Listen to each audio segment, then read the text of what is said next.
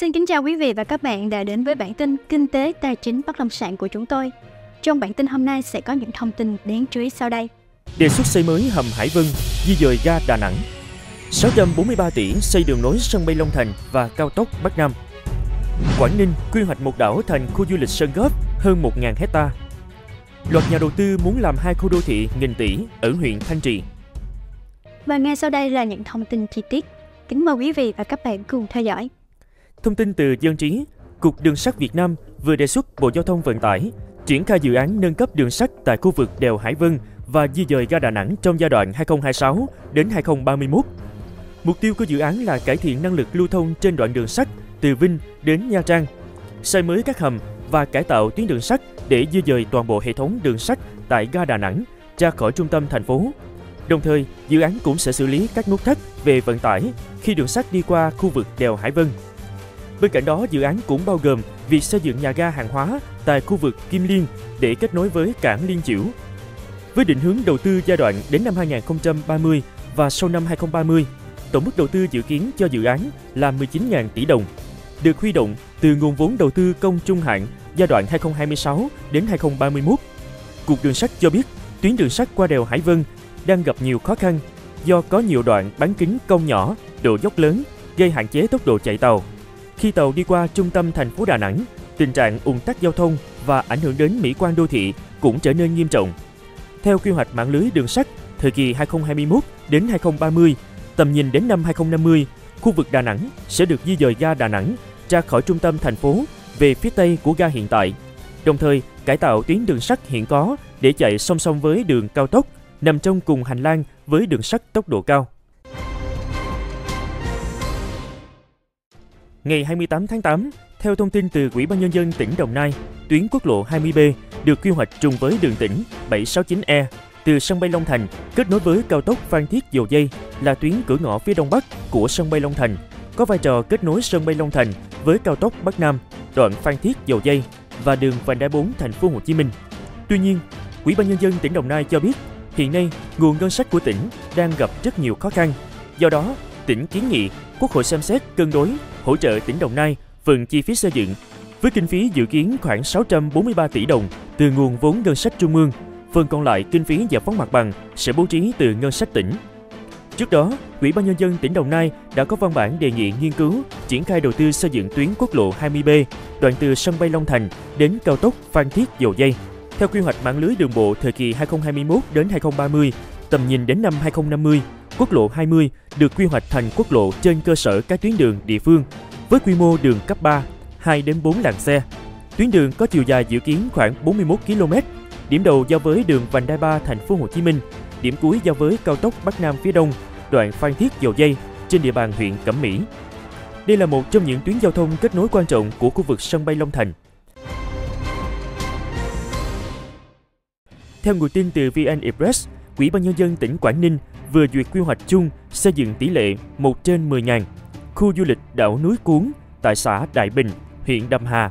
Phạm vi nghiên cứu lập quy hoạch gồm toàn bộ diện tích đảo núi Cuốn với một mặt giáp vịnh Bái Tử Long, hai mặt giáp biển phía bắc đảo Cái Bầu, huyện Vân Đồn.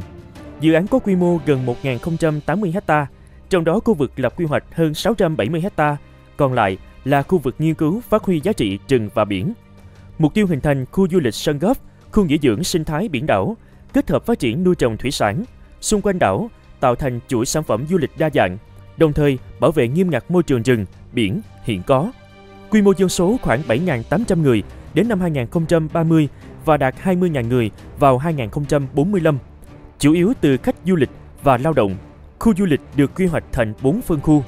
Quỹ ban nhân dân huyện Đầm Hà được giao hoàn thiện hồ sơ gồm thuyết minh, bản vẽ, quy định quản lý theo đồ án và công bố quy hoạch đã được duyệt.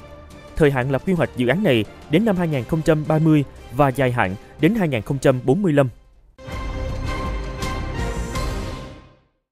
Theo tạp chí điện tử Nhịp sống thị trường, thị trường bất động sản công nghiệp Việt Nam đang chứng kiến những bước phát triển mạnh mẽ. Tỷ giá hối đoái giữa Việt Nam đồng và đô la Mỹ vẫn ổn định so với các quốc gia trong khu vực, cùng với các ưu đãi về thuế thu nhập doanh nghiệp CIT đang tạo điều kiện thuận lợi cho Việt Nam trước các đối thủ cạnh tranh như Malaysia và Indonesia. Chính phủ Việt Nam không ngừng đưa các chính sách ưu đãi CIT mới để duy trì lợi thế này. Theo Tổng cục Thống kê, năm 2023, Việt Nam ghi nhận mức tăng trưởng GDP ấn tượng, đạt sấp xỉ 5,1%, cao hơn tốc độ tăng 2,87% và 2,55% của năm 2020 và 2021, thuộc mức cao thứ hai trong khu vực, tương đương với Indonesia và chỉ theo sau Philippines. Theo dữ liệu từ ASEAN Development Bank, năm 2024, lực lượng lao động của Việt Nam trong độ tuổi trung bình hơn 32 cho thấy tiềm năng phát triển trong tương lai. Đồng thời, mức lương mà các công nhân sản xuất tại Việt Nam nhận được thấp hơn so với hầu hết các quốc gia khác trong khu vực Đông Nam Á, ngoại trừ Indonesia. Điều này có lợi thế cho Việt Nam trong việc thu hút các nhà đầu tư nước ngoài, đặc biệt là những doanh nghiệp tìm kiếm nơi có chi phí sản xuất thấp để tối ưu hóa lợi nhuận. Dù vậy, Việt Nam đã chuyển trọng tâm từ các ngành công nghiệp có giá trị gia tăng thấp sang thu hút các ngành sản xuất có giá trị gia tăng cao, qua đó củng cố vị thế một thị trường mới nổi của khu vực. Việt Nam đang liên tục cho thấy khả năng cạnh tranh qua việc chuyển đổi định hướng từ nền kinh tế nông nghiệp sang tập trung vào xuất khẩu, đặc biệt là lĩnh vực điện tử và chế biến.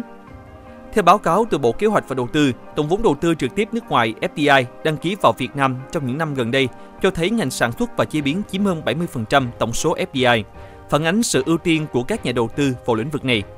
Ông Thomas Roney, quản lý cấp cao bộ phận bất động sản công nghiệp servius Hà Nội đánh giá, sự tập trung của FDI vào lĩnh vực sản xuất và chế biến không chỉ mang lại lợi ích kinh tế trực tiếp mà còn tạo ra hiệu ứng lan tỏa, thúc đẩy sự phát triển của các ngành công nghiệp phụ trợ và dịch vụ liên quan. Các tập đoàn công nghệ lớn như Samsung, LG, Intel, Foxconn đã đóng vai trò quan trọng trong việc đưa Việt Nam trở thành một trung tâm sản xuất điện tử của khu vực. Gần đây, tổng vốn đầu tư của Foxconn vào Việt Nam đã được nâng lên mức 1,5 tỷ đô la Mỹ với dự án nhà máy tại Bắc Giang, phục vụ việc lắp ráp và chế xuất linh kiện điện thoại. Điều này cũng thể hiện xu hướng đầu tư vào các ngành có giá trị gia tăng cao ở khu vực miền Bắc. Việt Nam nằm ở vị trí thuận lợi cho các hoạt động phát triển sản xuất. Ông Thomas Roney phân tích, vị trí địa lý của Việt Nam nằm ở trung tâm khu vực châu Á Thái Bình Dương, giúp Việt Nam trở thành một điểm đến lý tưởng cho các hoạt động xuất nhập khẩu. Sự dịch chuyển sản xuất từ Trung Quốc sang Việt Nam cũng đang gia tăng đáng kể, không chỉ từ các doanh nghiệp Trung Quốc mà còn từ các doanh nghiệp Mỹ và châu Âu đã có mặt lâu đời tại Trung Quốc và đang tìm cách đa dạng hóa hoặc rút hoàn toàn khỏi Trung Quốc. 7 đơn vị đăng ký làm hai dự án khu đô thị mới, tổng vốn hơn 7.300 tỷ đồng ở xã Đại Án, Liên Ninh, huyện Thanh Trì. Cụ thể, theo kết quả mở hồ sơ của Sở Kế hoạch và Đầu tư Hà Nội, dự án khu đô thị mới Liên Ninh, huyện Thanh Trì đang có 4 nhà đầu tư cùng muốn thực hiện, đó là công ty cổ phần Tổng công ty Techco miền Nam, công ty cổ phần Hateco Thăng Long, công ty cổ phần Tập đoàn Đầu tư và Phát triển Hưng Yên và công ty cổ phần Việt Hưng TTC Hà Nội. Dự án này có quy mô trên 30 ha nằm tại xã Liên Ninh. Chi phí sơ bộ để thực hiện khu đô thị này khoảng 2.866 tỷ đồng. Cũng tại huyện Thanh Trì, dự án khu đô thị mới C31 nằm tại xã Đại Án, thu hút hai liên danh và một doanh nghiệp đăng ký thực hiện. Hai liên danh gồm Vinaconex, Invest, Venerus và công ty cổ phần đầu tư Mai Linh, công ty trách nhiệm hữu hạn đầu tư phát triển Linh Sơn. Khu đô thị mới C31 có quy mô hơn 27 ha với tổng vốn đầu tư hơn 4.460 tỷ đồng. Bạn thấy quy mô dự án trên như thế nào? Hãy chia sẻ ý kiến của bạn ở dưới video để mọi người cùng biết nhé. Phần tiếp theo của video sẽ mang đến cho bạn những thông tin nổi bật khác mà bạn không nên bỏ lỡ. Các bạn hãy cùng nhau xem tiếp video để biết đó là gì nhé. Ứng dụng Cà phê Land Protect với giao diện hiện đại, dễ sử dụng cùng hơn 4.000 tin mua bán dự án. Thông tin đầu tư đầy đủ và cập nhật liên tục mỗi ngày giúp bạn đầu tư bất động sản hiệu quả hơn và ứng dụng này hoàn toàn miễn phí. Vậy còn chân chơi gì mà không tải xuống ứng dụng ngay hôm nay? Link tải nằm ngay mô tả các bạn nhé. Gặp phê Protect đáp ứng mọi lĩnh vực bất động sản. Thông tin vừa rồi cũng đã khép lại bản tin ngày hôm nay.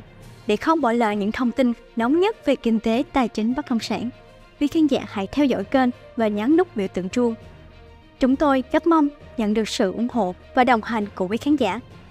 Xin kính chào quý vị và các bạn trong những chương trình lần sau.